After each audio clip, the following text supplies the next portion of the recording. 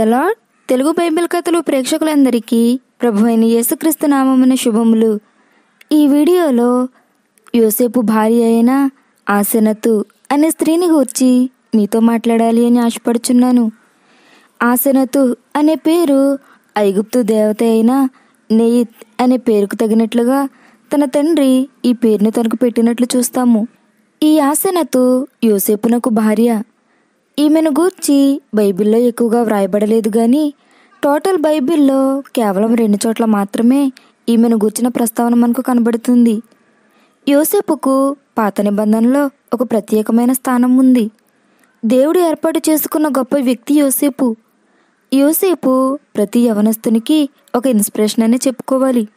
అయితే ఆసనతు యోసేపుకు భారీగా రాకముందు యోసేపు యొక్క పరిస్థితి యోసేపు యొక్క స్థితిగతులు ఏంటి అని మనం ఆలోచించినట్లయితే ఆదికాండము ముప్పై ఏడవ అధ్యాయం నుండి యాభైవ అధ్యాయం వరకు యోసేపును గురించి వ్రాయబడి ఉంటుంది. యోసేపు యాకోబునకు పుట్టిన కుమారుడు. యాకోబు రాహేల్ని అతిగా ప్రేమించాడు. కాబట్టేమో యోసేపు అంటే కూడా యాకోబుకు అమితమైన ప్రేమ. తన తండ్రి తన తమ్ముని అతిగా ప్రేమించడం చూసి అన్నలు యోసేపు మీద పగబడతారు అంత మాత్రమే కాదు కానీ యోసేపు ఒక కలగంటాడు ఆ కలలో యోసేపు ఒక అధికారిగా తన అన్నలు తనకంటే తక్కువగా ఉండడం. ఆ కలను యోసేపు తన అన్నలకు చెప్తాడు. ఆ కలభావం విన్న తరువాత అన్నలు అతని మీద అసూయపడి అప్పటి నుండి తన తమ్ముడిని ఏదో విధంగా వదిలించుకోవాలి అని అనుకుంటారు. ఆ తరువాత యోసేపును నీళ్ళు లేని గుంటలో పడద్రోస్తారు. ఆ తరువాత ఆ గుంట నుండి తీసి ఐగుప్తు వర్తకులకు అమ్మేస్తారు. యోసేపు ఐగుప్తు దేశానికి వెళ్ళిపోయి ఫోతిఫర్ ఇంట్లో పనిచేస్తుంటాడు. ఆ ఫోతిఫర్ ఇంట్లో చేరి నేరం ఒకటి అతని మీద వేయబడినప్పుడు చెరసాలలోకి వెళ్ళిపోతాడు. చెరసాలలో చెయ్యని నేరానికి కొన్ని సంవత్సరముల శిక్షణ భరిస్తాడు. ఆ తరువాత దేవుని యొక్క మహాకృపను బట్టి ఐగుప్తు దేశంలో ఫరో తర్వాత ఒక ప్రధానమంత్రి స్థానానికి యోసేపు హెచ్చించబడతాడు. ఇలా యోసేపు గోతి నుండి పోతిఫర్ ఇంటికి తరువాత చెరసాలకు ఆ తర్వాత ఫరో అంతఃపురానికి ఇలా యోసేపు తన జీవితంలో ఒడిదుడుకులన్నీ దాటుకుని ఒక సక్సెస్ఫుల్ పర్సన్గా తన జీవితంలోనికి మంచి రోజులు వచ్చినప్పుడు ఆసనతు యోసేపు జీవితంలోనికి ప్రవేశించింది. ఆసనత్తుకు భర్తగా ఉన్న యోసేపు యొక్క అర్హతలు ఏమిటి అని మనం చూచినట్లయితే యోసేపు ఒక అధికారిగా ఉన్నాడు. ఆధ్యాత్మికంగా బలం కలిగిన యవనస్తుడు. బాహ్యంగా కూడా సౌందర్యవంతుడే. ఆదికాండము ముప్పై తొమ్మిదవ అధ్యాయము ఆరో వచనంలో మనకు కనబడుతుంది. దేవుని ఆత్మ కలిగిన వ్యక్తి యోసేపు అని ఫరోయే స్వయంగా యోసేపును గురించి మాట్లాడాడు.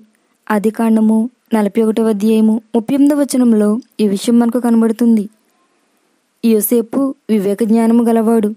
ఆదికాండము నలభై ఒకటవ అధ్యాయము ముప్పై తొమ్మిదవ వచనంలో ఈ విషయం మనకు కనబడుతుంది. పాత నిబంధన గ్రంథంలో యోసేపును యేసుక్రీస్తుకు సాదృశ్యంగా చూస్తాం. అటువంటి అద్భుతమైన వ్యక్తికి భార్యగా చేయబడిన స్త్రీయే ఈ ఆసనతు. ఇంత గొప్ప వ్యక్తికి ఆమె భార్య కాబట్టి ఆమె ఇంకెంత గొప్పతో అని అనుకోవచ్చు. కానీ ఆదికాండము నలభై ఒకటవ అధ్యాయము నలభై ఐదవ వచనంలో మరియు ఫరో యోసేపునకు జప్నత్ పనేహు అని పేరు పెట్టి అతనికి ఓని యొక్క యాజకుడైన ఫోతిఫెర కుమార్తెయగు ఆసనతనిచ్చి పెండ్లి చేశాను అని వ్రాయబడి ఉంటుంది. ఈమె అన్యదేవతను ఆరాధిస్తున్న అన్య కుటుంబానికి చెందిన యవనస్తురాలు. ఐగుప్తు దేవత అయిన ఓనును ఆరాధించే ఒక యాజకుడైన ఫోతిఫర కుమార్తె ఈ ఆసనతు. ఈమె ఐగుప్తు దేశానికి చెందిన స్త్రీ ఇస్రాయేలీయురాలు కాదు. ఒక అన్యురాలిని దేవుడు ఏర్పాటు చేసుకుని ఆమెను ధన్యురాలుగా మార్చాడు. ఈమె యోసేపునకు భార్యగా అవడం వల్ల దేవుని ఆరాధించే ఒక ఆరాధికురాలిగా ఉంది అనే చెప్పుకోవచ్చు. ఎందుకంటే యోసేపును దేవునికి సంబంధించిన విషయంలో వెనక్కి లాగినట్లు కానీ తన దేవతను ఆరాధించమని అన్నట్లు కానీ బైబిల్లో వ్రాయబడలేదు. వివాహమైన తరువాత యోసేపును ఆసినతు తను ఆరాధించే దేవతల తరటు తిప్పినట్లు బైబిల్లో వ్రాయబడలేదు. ఈ విషయాలను బట్టి చూస్తే యోసేపుకు భార్యగా అయిన తరువాత దేవుని ఆరాధించే ఆరాధికురాలిగా ఈ ఆసనత ఉంది అని చెప్పుకోవచ్చు. ఈమె దేవుని కుటుంబంలో ఒకటిగా చేయబడింది. ఇస్రాయేలీరాలిగా చేర్చబడింది. అయితే ఈ ఆసనతు యోసేపునకు ఇద్దరు కుమారులను కన్నది. ఆది కాండము నలభై ఒకటో అధ్యాయము యాభై యాభై ఒకటి యాభై రెండు వచనాలు మనం చదివినట్లయితే వారికి మనషే ఎఫ్రాయిము అని ఇద్దరు కుమారులు పుట్టినట్లు మనకు కనబడుతుంది. మనషే అను మాటకు మరచుట అని ఎఫ్రాయిము అను మాటకు ఫలము లేక రెండంతల అభివృద్ధి అని అర్థములు కలవు. అయితే దేవుడు ఆశనతనకు ఇచ్చిన ఒక గొప్ప కృప ఏంటంటే ఆమె ఇద్దరు కుమారులను ఇస్రాయేలీల పన్నెండు గోత్రాలకు గోత్రకర్తలుగా దేవుడు చేశాడు. దేవుడు ఆమెను ఒక సాధనంగా వాడుకున్నాడని చెప్పుకోవచ్చు.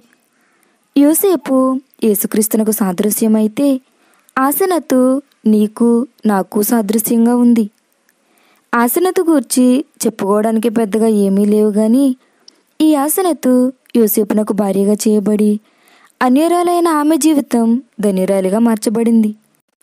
ఈమె అందగత్తిగా గాని సౌందర్యవంతురాలుగా కానీ ఇంకా మరిన్ని విషయాలు ఆమెను గూర్చి ఎక్కువగా వ్రాయబడలేదు కానీ దేవుని యొక్క ప్రణాళిక ద్వారా యోసేపు లాంటి గొప్ప వ్యక్తికి భార్యగా చేయబడి అంత మాత్రమే కాదు గాని పరిశుద్ధ గ్రంథంలో ఆమె పేరును కూడా పరిశుద్ధాత్మ దేవుడు వ్రాయించాడు. ఈమె ఒక అన్యురాలైన స్త్రీయే కానీ దేవుని నమ్ముకున్న యోసేపు లాంటి గొప్ప వ్యక్తికి భార్యగా చేయబడి తన జీవితాన్ని మార్చుకొని ధన్యురాలుగా చేయబడింది. అటువంటి కృప దేవుడు మనకందరికీ సహాయం చేయనుగాక. ఈ వీడియో మీకు నచ్చినట్లయితే లైక్ చేయండి షేర్ చేయండి.